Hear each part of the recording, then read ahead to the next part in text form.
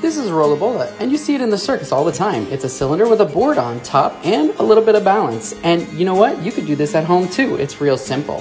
All you need is a cylinder and a board. First, the cylinder you can buy at Home Depot is just a PVC pipe. This one has a 6 inch diameter. And then you need a board, and this board is just a nice piece of wood. It's a half inch thick, 27 inches long, and 11 inches wide. No problem, you could do it yourself. Then, once you have both of those pieces, maybe add some paint to make it look nice, and with a little bit of safety, start your balance.